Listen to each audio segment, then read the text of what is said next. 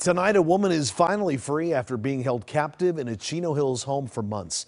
The suspect under arrest and deputies are releasing his photo because they're trying to find out if there are more victims out there.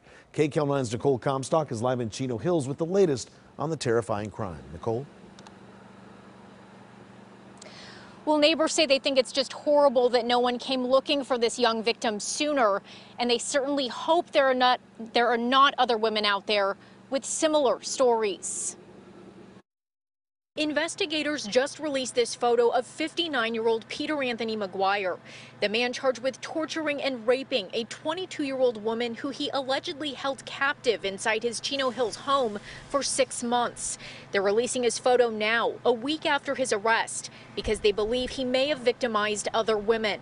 This is stuff you hear like on criminal minds or like shows you watch on TV, not something that happens in your own neighborhood. Ashley lives near the suspect's home on a quiet cul-de-sac where many neighbors say they heard the victim's cries for help. Yeah, I've heard several neighbors heard that they've heard screaming. For weeks before she escaped on her own by running to nearby Alterra Park. Those neighbors told us they would not talk on camera because they think Maguire is a very dangerous man. They're afraid of him and anyone associated with him. They specified that they called the cops seven or eight times in recent weeks because the screams were so distressing.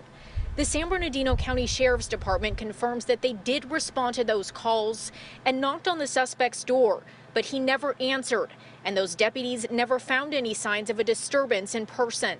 Over the last week, we've obviously done some real intense investigation, worked really closely with our district attorney's office.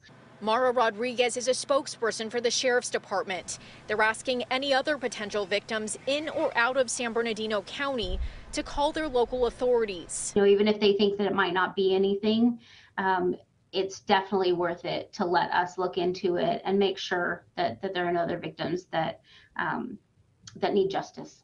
Ashley says she just wished justice would have come sooner for the woman who freed herself from this home. She was in such a horrible situation for I think six months or something like that, that she was able to find the courage and like strength to get out and leave and then find help.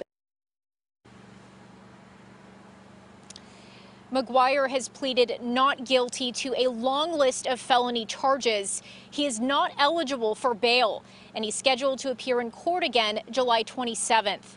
Reporting live in Chino Hills, I'm Nicole Comstock, KCAL 9 News.